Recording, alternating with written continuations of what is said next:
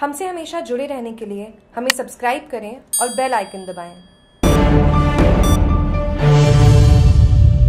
दिन ढलते ही सक्रिय हो जाते हैं खनन माफिया सांडेराव से स्थानीय पुलिस थाना क्षेत्र में इन दिनों पुलिस की मिली भगत से खागड़ी बागड़ी और खिमाड़ा रानावत गाँव से गुजर रही मीठड़ी नदी से बजरी माफिया वैध रूप से खनन के काम में लगे हैं। ये काम दिन ढलते ही धड़ल्ले से शुरू हो जाता है। पुलिस की ओर से कभी कभार कुछ वाहनों को खींच कर खाना पूर्ति की जा रही है, जबकि नदी से सरेआम दिन के उजाले में खनन माफिया अवैध रूप से बजरी के भरे डंपर, ट्रैक्टर, टोली तेज रफ्तार के साथ सड़कों पर लेकर दौड़ते हैं, जिसे पुलिस सफ़ा नजरअंदाज करती नज़र आ रही है। यहाँ से रेत बजरी के वाहन आसानी से दिन ढलते ही पूरी रात तक दौड़ते हुए नज़र आते हैं। जिसे पुलिस की कार्यप्रणाली पर भी लोग शक कर रहे हैं। प्रतिबंध के बावजूद अवैध खनन हो रहा है। बजरी माफिया सांडेराव थाना क्षेत्र के गाँव में रेत बजरी परिवहन कर रहे हैं। इसको लेकर लोगों में पुलिस प्रशासन के प्रति भारी रोष है। लोगों का कहना है कि इस मसले पर कई बार पुलिस प्रशासन को अवगत कराया गया, मगर पुलिस ने उल्टा शिकायत करने वालों को ही डांट फटका कर भगा दिया।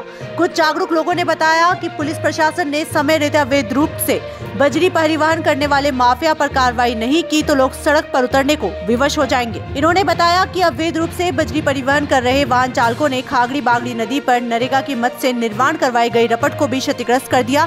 साथ ही नदी किनारे शमशान घाट को भी नुकसान पहुँचाया है और रात भर तेज रफ्तार से दौड़ते वाहनों ने लोगों की नींद कर हराम कर कर रखी हुई है।